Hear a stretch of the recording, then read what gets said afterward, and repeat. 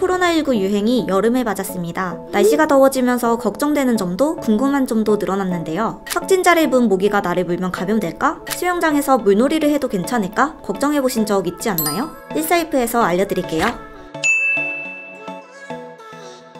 모기는 일본 대염, 말라리아, 지카 바이러스, 댕기열 같은 심각한 질병을 옮기는 매개체죠. 만약 확진자를 문 모기가 나를 문다면 바이러스에 감염되지 않을까 싶기도 한데요.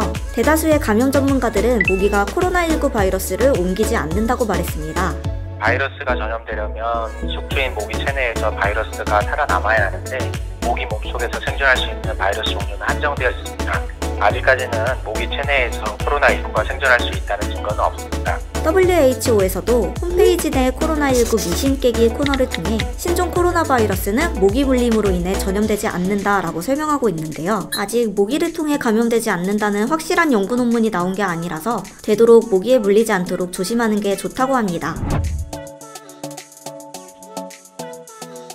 여름 휴가 때 바다, 계곡, 수영장으로 피서 가고 싶은 분들 많을 텐데요. 코로나19 바이러스는 침방울을 통해 감염됐다고 하잖아요. 확진자와 같은 곳에서 물놀이를 하게 되면 어떡하지? 걱정되지 않으셨나요? 방역 당국에 따르면 물속에서는 바이러스가 퍼져도 밀도가 낮아서 위험도가 덜하다고 합니다. 특히 염소 등으로 물을 소독하는 수영장의 경우 물로 인한 감염 가능성은 걱정할 수준은 아니라는데요.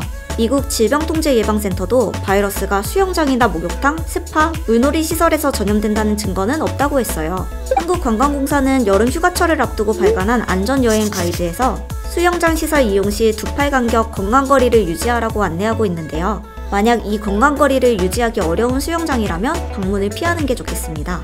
에어컨을 쓰더라도 충분히 자주 환기를 시키는 걸로 예방하는 게 필요하다고 말씀드리겠습니다. 이외에도 에어컨 사용하면서 환기하기, 땀에 젖은 마스크는 가급적 한 번만 사용하기 등 코로나 시대에 여름철 수칙들이 등장하고 있는데요.